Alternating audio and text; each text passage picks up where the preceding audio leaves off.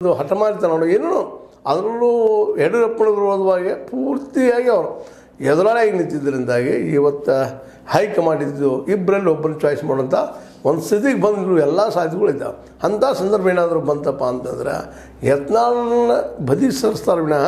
ಯಾಕಂದರೆ ಯತ್ನಾಳರಿಗೆ ರಾಜ್ಯದಿಂದ ಹೌದಪ್ಪ ಮೆಜಾರಿಟಿ ಮಾಡಿ ಗೆಲ್ಲಿಸುವಂಥ ಶಕ್ತಿ ಐತಿ ಅಂತೇಳಿ ಯಾರೂ ನಂಬೋದಿಲ್ಲ. ಆ ಪ್ರಮಾಣದ ನಾಯಕರಂತ ಯಾರೂ ಹೇಳೋದಿಲ್ಲ. ಅಂದಾಗ ಸಹಜವಾಗಿ ಯತ್ನಾಳರನ್ನು ಬದಿ ಸರಿಸುವಂಥದ್ದು. ಮತ್ತು ಈಗಾಗಲೇ ರಮೇಶ್ ಜಾರಕಿಹೊಳಿ ಹಿಂದಿನ ವಿಧಾನಸಭಾ ಚುನಾವಣೆಯಲ್ಲೇ ಬೆಳಗಾವಿ ಜಿಲ್ಲೆ ಎಲ್ಲ ಅವ್ರಿಗೆ, ಅವ್ರ ಕೈಯಲ್ಲಿ ಕೊಟ್ಟಿದ್ದರು ಆ ರಿಸಲ್ಟ್ ಏನು ಬಂದದ? ಅದು ಸಹಿತ ಇವತ್ತು ಹೈಕಮಾಂಡ್ ಮುಂದದ. ಹೀಗಾಗಿ ಇವರು ಮೂಮೆಂಟಿನ ಮಾಡಲಿಕ್ಕೆ ಹೊರಟಿದ್ದಾರೆ ಮತ್ತು ಲಿಂಬಾವಳಿ ಬಗ್ಗೆಯೂ ಒಳ್ಳೆಯ ಅಭಿಪ್ರಾಯ ಇಲ್ಲ ಹೈಕಮಾಂಡದಲ್ಲ. ಇವರೇನೋ ಈಗ ಮಾಡಲಿಕ್ಕೆ ಹೊರಟಿದ್ದು. ಈ ಒಂದು ಸಂಘಟನೆಗೆ ಹೊಡೆದು ಬೀಳ್ತದ ಕಾರಣಕ್ಕಾಗಿ ಮೋಸ್ಟ್ ಪ್ರಬಲಿ ಯಡಿಯೂರಪ್ಪನವರ ಕಡೆಗೆನ ಮೋದಿ ಅವರು ಹೆಚ್ಚು ಒಲವು ಇರುವುದರಿಂದಾಗಿ ಮೋಸ್ಟ್ಲಿ ಈಗೆಲ್ಲ ಮಾಡುವಂಥ ಈ ಒಂದು ಚಟುವಟಿಕೆಗಳನ್ನು ಪಕ್ಷ ವಿರೋಧಿ ಚಟುವಟಿಕೆಗಳನ್ನು ಯಾಕೆ ಕನ್ಸಿಡರ್ ಮಾಡಬಾರ್ದು? ಅಂಥೇಳಿ ಕೇಳೋದಕ್ಕೆ ಯಡಿಯೂರಪ್ಪನವ್ರಿಗೆ ಹಾದಿ ಮಾಡಿಕೊಟ್ಟಂಗೆ ಆಗ್ತದೆ. ನಾವು ಪಕ್ಷ ವಿರೋಧಿಗಳಲ್ಲ ಅಂತ ಹೇಳಿದರೂ ಸಹಿತ ಆದರೆ ಇದೊಂದು ಇಫೆಕ್ಟ್ ಯಾರ ಮೇಲೆ ಆಗ್ತದಪ್ಪ ಅಂದ್ರೆ ಈಗ ಓಡಾಡಿ ಮಾಡುತ್ತಿರುವಂಥ ಒಂದು ಏನೋ ಮಾಡಿದ್ದಾರೆ ಇವತ್ತು, ಇವ್ರನ್ನ ಕಾಂಗ್ರೆಸ್ಸಿಗೆ ಬೆದರಿಸಿದ್ದಾರೆ. ಅಂತ ಏನಲ್ಲ, ಆ ಪ್ರಮಾಣದಲ್ಲಿ ದೊಡ್ಡ ಕಾರ್ಯಕ್ರಮ ಆಗಿದೆ ಪಾದಯಾತ್ರೆ ಮೂಲಕ.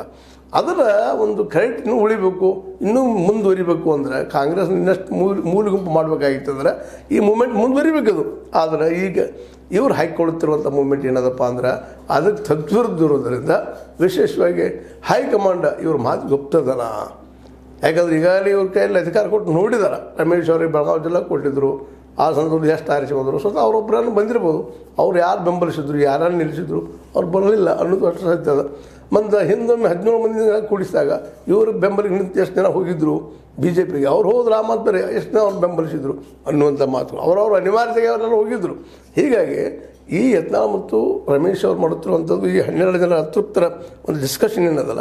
ಇದು ಬಿ ಜೆ ಪಿ ಹೈಕಮಾಂಡ್ಗೆ ಇದೊಂದು ಪಕ್ಷ ವಿರೋಧಿ ಏನೋ ಅನ್ನುವಂಥ ಅನಿಸೋ ಸಾಧ್ಯತೆಗಳು ಭಾಳಷ್ಟು ಇದ್ದಾವೆ ಅದಕ್ಕಾಗಿ ಈ ವಿಚಾರದಲ್ಲಿ ಯತ್ನಾಳ್ರವರು ಇನ್ನೊಮ್ಮೆ ವಿಚಾರ ಮಾಡ್ಕೊಂಡು ಹೆಜ್ಜೆ ಇಟ್ಟರೆ ಭಾಳ ಒಳ್ಳೆಯದು ಮತ್ತು ಜೊತೆಗೆ ಅವ್ರ ವ್ಯಕ್ತಿತ್ವದಲ್ಲಿಯೂ ಒಂದು ಏನಪ್ಪ ಅಂದರೆ ಇಡೀ ಒಂದು ಸಂ ಈವನ್ ಪಂಚಮ ಶಾಲೆಯಲ್ಲೂ ಸಹಿತ ಅವ್ರು ಪ್ರಬಲರಾಗಿ ತಾವು ತಮ್ಮ ವಿಚಾರ ಹೇಳಬಲ್ಲರು ಅನ್ನೋದಕ್ಕೆ ಅವರಲ್ಲಿ ಅನೇಕ ಜನ ಅವ್ರನ್ನ ವಿರೋಧಿಸ್ತಾ ಇದ್ದಿದ್ದು ನಮಗೆ ಗೊತ್ತು. ನಿರಾಣಿ ಅವ್ರನ್ನ ವಿರೋಧ ಮಾಡ್ತಾರೆ ಮತ್ತೊಬ್ಬರು ವಿರೋಧ ಮಾಡ್ತಾ ಇದ್ದಾರೆ. ಹೀಗಾಗಿ ಒಂದು ರಾಜ್ಯ ಮಟ್ಟದ ಒಂದು ನಾಯಕರಾಗಿ ಹೊಮ್ಮುವಲ್ಲೇ ನಮ್ಮ ಯತ್ನಾಳವರು ವಿಫಲರಾಗಿದ್ದಾರೆ. ಹೀಗಾಗಿ ಈಗ ನಡೆಸ್ತಿರೋದು ಏನೊಂದು ಪಾದಯಾತ್ರೆ ಮಾಡಬೇಕಂತ ಮಾಡ್ತಾ ಇದ್ದಾರೆ. ಇದರಿಂದ ಹೆಚ್ಚಿಗೆ ಲಾಸ್ ಆಗೋದು ಯಾರಿಗೆ ಅಂದರೆ ಬಿ ಜೆ ಪಿಗೆ ಅನ್ನುವಂಥದ್ದು. ಯಾಕಂದರೆ ನೀವು ಅಲ್ಲಿ ಹೋದಲ್ಲಿ ಏನು ಮಾತಾಡೋರು ಯಡಿಯೂರಪ್ಪನ ವಿರೋಧವಾಗಿ ಮಾತಾಡುವಂಥವ್ರು. ಒಬ್ಬರ ಹೀರೋನ ಸೊನ್ನವಾಗಿ ಹೀರೋ ಮಾಡೋನು ಒಬ್ಬರನ್ನ ಹಾಗೆ ಹೀಗೆ, ಏನು ಅವ್ರಿಗೆ? ಆ ಮುಮ್ಮೆಣದಲ್ಲಿ ಏನು ಬರ್ತದೆ ಮಾತಾಡಿಬಿಡ್ತಾರೆ. ಹೀಗಾಗಿ ಅದರ ದೀರ್ಘಕಾಲೀನ ಪ್ರಭಾವ ಪ್ರಚಾರ ಆಗೋದ್ರಿಂದ ಬಿ ಜೆ ಪಿಯಲ್ಲೂ ಸಹಿತ ಅವರು ಮೂರು ಗುಂಪು ಆಗಬಹುದಾ ಇಲ್ಲ ಯಡಿಯೂರಪ್ಪನ ಬದಿಗೆ ಸೇರಿಸಿ ತಾವು ಈ ರಾಜ್ಯದ ಲೀಡರ್ ಆಗ್ಬೋದಾ?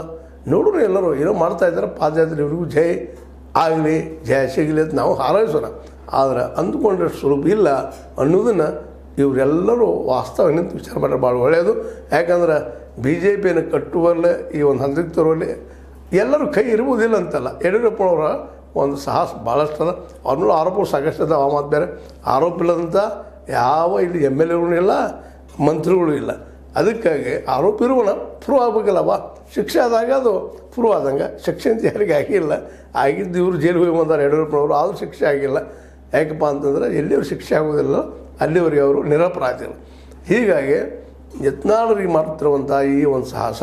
ಮೋಸ್ಟ್ಲಿ ಅವ್ರ ರಾಜಕೀಯನ ಹಿನ್ನಡೆ ಆಗ್ಬೋದು ವಿನಃ ಯಡಿಯೂರಪ್ಪರನ್ನ ಆ, ಒಂದು ಅಥವಾ ವಿಜಯೇಂದ್ರ ಅವ್ರನ್ನ ಅಧ್ಯಕ್ಷ ಸ್ಥಾನದ ಕೆಳಗೆ ಇಳಿಸುವಲ್ಲಿ ಯಶಸ್ವಿ ಆದಿತ್ಯ ಇದೊಂದು ಪ್ರಶ್ನೆ ಎಲ್ಲರಿಗೂ. ನಿಮ್ಗೆ ಅನಿಸ್ತದೆ? ಇಲ್ಲ ಹಂಗೆ ಏನಾದರೂ?